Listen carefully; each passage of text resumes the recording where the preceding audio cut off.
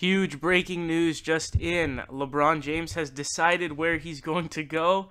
He's decided he's going to the Los Angeles Lakers. Uh, there's this for immediate release from Klutch Sports Group. They say LeBron James, four time NBA MVP, three time NBA Finals MVP, 14 time NBA All Star, and two time Olympic gold medalist, has agreed to a four year, $154 million contract with the Los Angeles Lakers.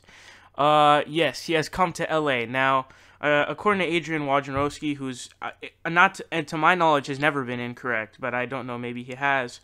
Uh, his tweet says sources as tr- as trade talks have unfolded, Kawhi Leonard's focus is unchanged. He wants to be a Laker. So it looks like Paul George, because I talked about Paul George yesterday, passing on the Lakers, uh, rather staying in Oklahoma City.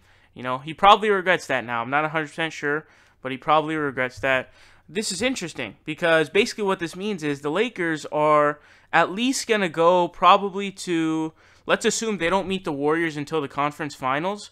Uh, they'll probably go to the conference finals, but they'll at least make it to the semis. We'll put it that way. They'll at least make it to the semis, uh, which is great. At least we'll make it to the playoffs.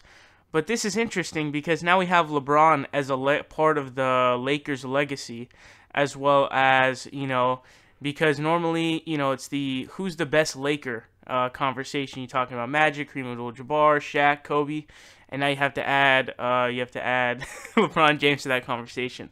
So this is going to be interesting for that reason. But I think that he decided to stay. Um, he decided to come to LA because his family is there. Uh, and if you guys remember, Magic Johnson at that press conference was sort of giddy. He was almost giddy. Like you almost like could tell something was up. So he definitely either had a good feeling or I don't know, maybe he tampered. I don't know. Everyone tampers, but it's very it was very you know interesting to see the way he did it, and it did end up paying off. So Kyle Kuzma says Lake Show at King James, let's go, my brother, let's rock.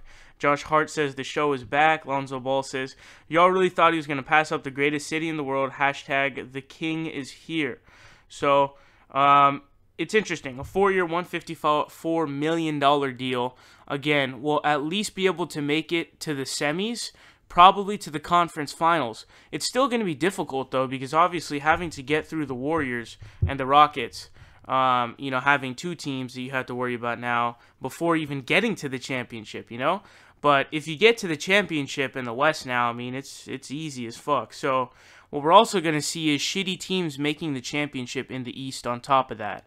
But crazy news. I'm excited on one hand because, you know, we're going to make in the playoffs again. Finally going to be back in contention. But I'm also like, ah, shit. Like, is this going to. Because this could ruin Kobe's legacy and this could ruin uh, all the other great Lakers, Lakers legacy.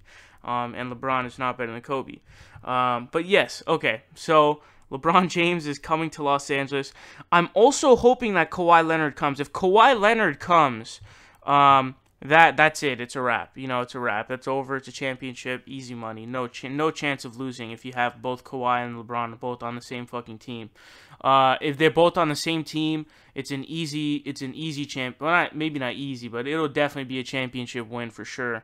Um, but he has to be traded. Recall so now that the Lakers already have LeBron James, is Gregg Popovich and the Spurs, are they going to trade Kawhi Leonard, their best player, to a, a, conference rival? I highly doubt it. I really, really highly doubt it.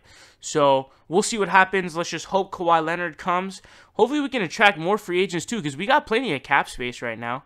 So we we need to get more free agents. But now that LeBron has come, other free agents will come, just like they did, uh, whether it be in Cleveland or Miami.